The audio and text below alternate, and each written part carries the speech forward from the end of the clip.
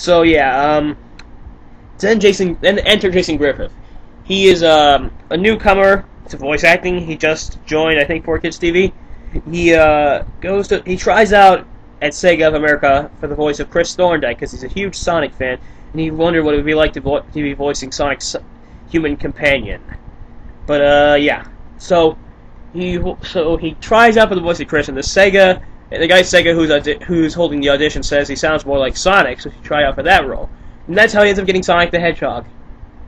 So by dumb luck, he managed to voice voice one of his favorite video game characters, which I which makes me feel glad for the guy. I really like his I really like his uh, voice work. Wow, that's a pretty snazzy performance there. I'm Sonic. Sonic the Hedgehog. Well, this is new. Showing remorse, Eggman? If you played nice, I wouldn't have to break all your toys.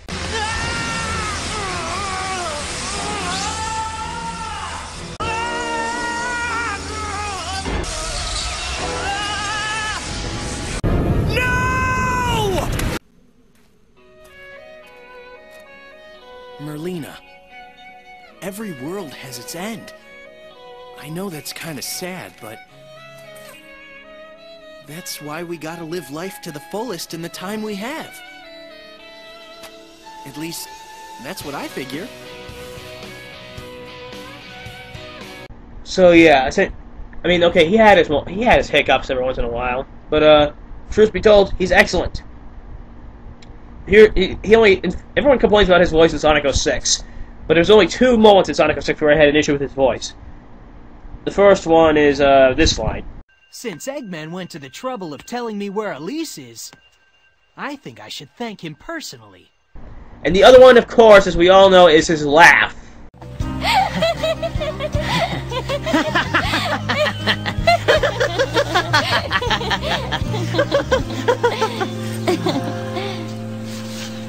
Yeah, as much as, now. My apologies for killing all your ears by putting that clip in, but yeah.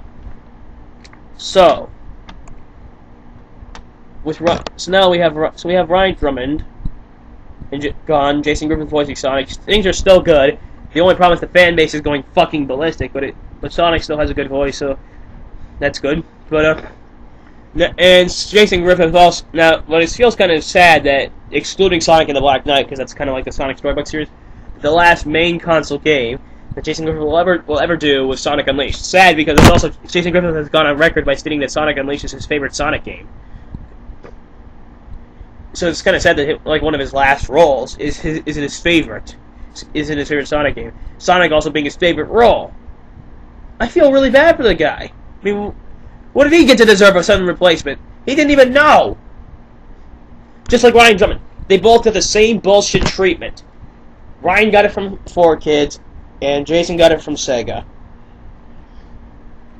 Essentially, the new replacement, the new Sonic voice, did the voice of Chris in Resident Evil, I think. Now, as I recall, I recall that being a cool voice, but I don't think that fits Sonic the Hedgehog.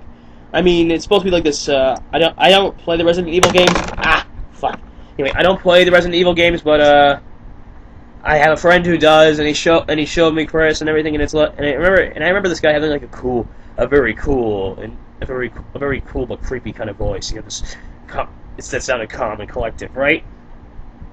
And suddenly, but so yeah, that kind and that's not the kind of voice you want voicing Sonic. I mean, sure, Jason Griffith ended up voicing both Sonic and Shadow, and I and I cannot and Shadow's probably going to be replaced too, but I'll get into that later, which will really piss me off because he had an excellent Shadow voice. So this, I don't think this guy would fit Sonic the Hedgehog. I mean, come on, seriously? And just listening to to his voice, he sounds really annoying. Have a great stay. Don't forget to ride the Sonic Spinball. Whoa!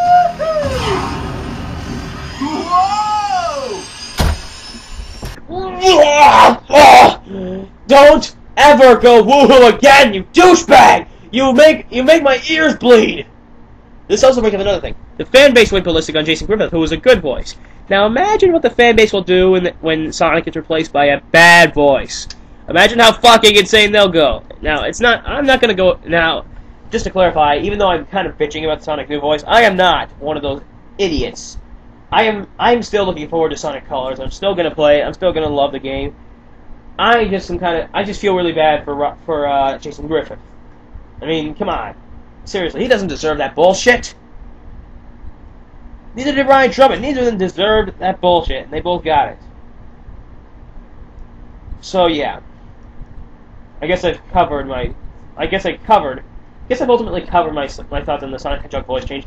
But let me now let me go in a bit more in depth on what I've heard. It turns out that the whole cast, with some exception, with some exceptions, are getting a voice change. Turn, Dr. Eggman, Dr. Eggman is one of the only people still being voiced by the previous cast member. Essentially, um, yeah, I suspect that I guess one reason why Sega might be doing it, I'm not sure because I'm not sure. I don't think the guy who voices Chris works at 4Kids TV. I'm not sure, but I don't think he does. But uh, yeah. So it's because it's because basically, uh, I think the reason they're doing this is because now that Sonic X isn't around anymore, they're thinking they should. They're thinking they want to. I think the main reason they did it was because they wanted to keep consistency with Sonic X. But now that there is no Sonic X, they don't feel that need anymore, which is so. But that doesn't that doesn't really count it to me as a motive to change the cast again. I mean, why? Why can't they just? I mean, just because Sonic is, X is over doesn't mean they need it. Doesn't need. Doesn't mean the vo- they have to go. They ha- they can't be the voices anymore. I mean, what kind of bullshit is that? And this also proves to any of those idiots who keep who keep running rumors that Sonic X is going to have another season.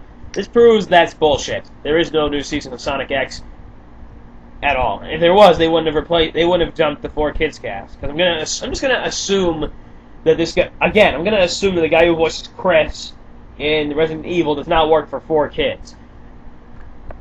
anyway, so they're replacing Tails as well, which is a bad idea because essentially Tails has only had one good voice in his entire voicing history. Well, he wait. Actually, I'm trying to look back. I can't remember. There might have been one good voice in the cartoons, but probably not. I think eventually the Sonic the Hedgehog was a little okay, but that show, but even then, that show was just fucked up. So you, so yeah. Now, Saturday um, Tails sound is so annoying. I swear to God, he, I cannot, I cannot stand his voice since SatAM. And I can't remember who did him in the Christmas special, but it wasn't all that great either. But it whoever it was didn't all that, do all that great of a job either. And uh, so looking past that, let's look at his voice in the Sonic movie. The guy sounds like he has a. Now that, I think the, I think if the guy didn't sound like he had a cold, or girl, I'm not sure if it was a guy or a girl, then I think uh, Tails would have been Tails Tails' voice would have been excellent. But anyway, let's move on to the games. Corey Bringas. Oh my God! Anyone who supports this guy needs to get a clue at what acting is. Corey Bringas is terrible. He's like, he can put he has no emotion into anything he says. Everything's working great! All systems go, full speed ahead. Uh-oh, what's this?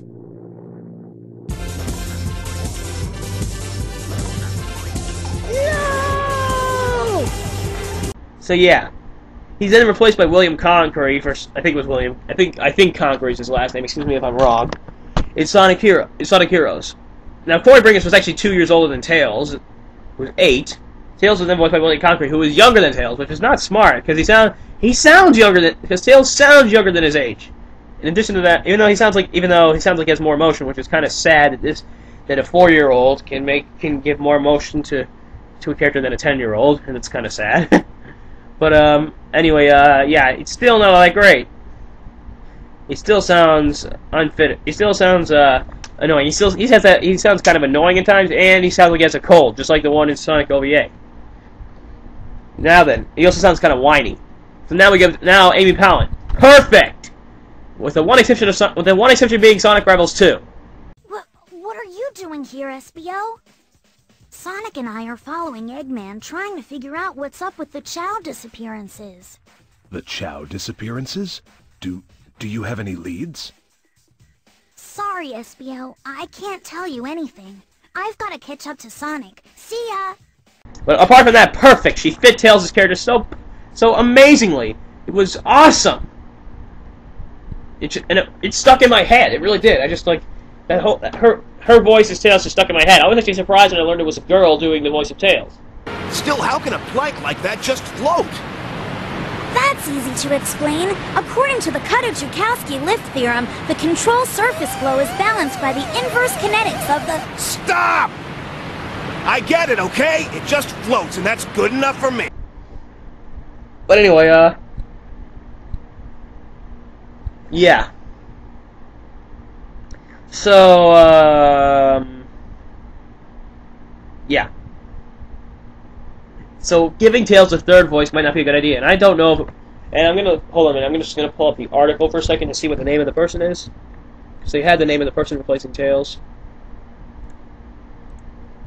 Let's see, Sonic Stadium. Oh, by the way, for the record, I'm not a big fan of Sonic Stadium anyway, but when they're right, they're right. But when they're right, they're right.